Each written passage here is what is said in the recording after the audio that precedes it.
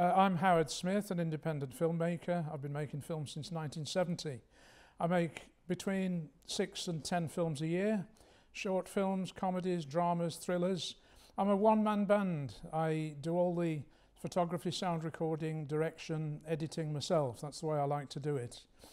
Uh, I'm lucky enough to have had two films selected this year. I'm absolutely over the moon about it.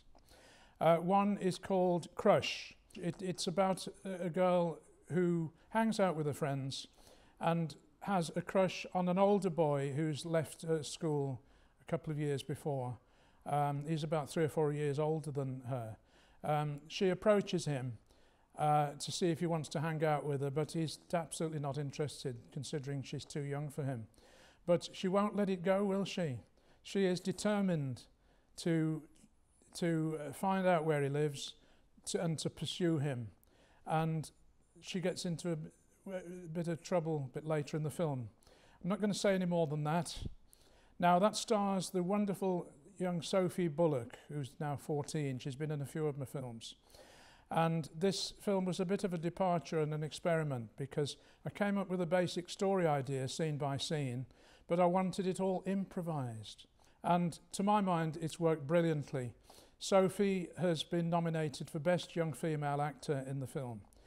Um, also, in the film, playing her father is a, is a brilliant actor called Adam Probetz. Uh, his scenes with Sophie in the film are some of the, the best acting I've ever had in my films. Do you remember that holiday when we went to Weston? Do I? That was lovely, that place. And you took me on that fair ride for the first time? Yeah. Don't think I've ever screamed more in my life. You weren't going to go on it. I, had to, No. I had to persuade you, didn't I? You forced me on it, you didn't persuade me. Force you on You it. I just- did? I just know what it's like and I wanted you to have a good time. Yeah.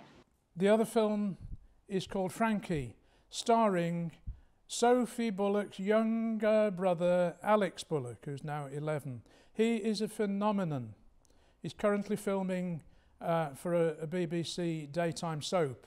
Uh, but he is such a wonderful character, and I wrote a script especially for him called Frankie, where he is uh, a, lively boy who's living unhappily with uh, an unpleasant stepfather, played by Sebastian Cousins.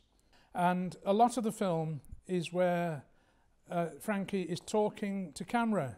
We cut to him on a swing, we cut to him on a bench, we cut to him walking along, and he's actually talking to camera, breaking the, the fourth wall.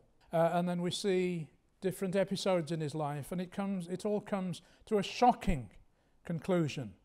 Th- this is the fourth. This is the fourth year I've submitted films to the Birmingham Film Festival, and each year I've been lucky enough to have at least one film selected. Last year I had five films selected, which I think was a bit of a record. So I consider myself very fortunate. Coming to the Birmingham Film Festival for the last four years, uh, I've seen lots and lots of talented filmmakers work, lots of excellent actors, and I've done my best to bring along some of my actors along as, as well. They are absolutely thrilled to see their, their performances on the giant screen. I think it's so important for festivals not just to be in London. Uh, Birmingham gives everybody in the West Midlands a chance to go to watch a proper film festival, and it's free. I, I, I think it's amazing that it is free to, to go to all the, the, the film shows, and it lasts a week. So, uh, if people are busy one day, they can spare some time another day to go along. Uh, it's spreading the word about all the wonderful short films and feature length films as well, which are out there, which don't get enough exposure. So please, everybody, come and watch Frankie and Crush on Monday, the 7th of November, 8 o'clock show, Millennium Point Cinema, and it's free. Why not come?